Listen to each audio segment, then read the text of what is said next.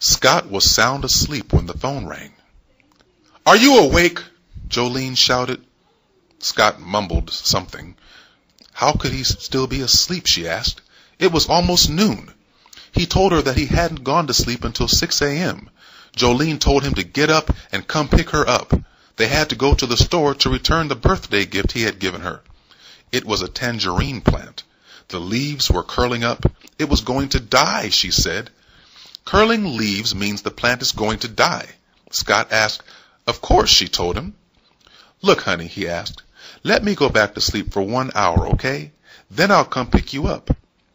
Jolene wondered why he needed one hour. Was he expecting a phone call from his ex-girlfriend? No, he patiently tried to explain. He just wanted to get another hour of sleep. But he could not sleep anymore. Once Jolene mentioned anything about Amy, he'd better get over there quickly. Scott broke up with Amy five years ago. Now they were just friends. But Amy still loved him. That wasn't a problem for Scott until Jolene found out about it. If Amy still loved Scott, Jolene figured that they just might get back together.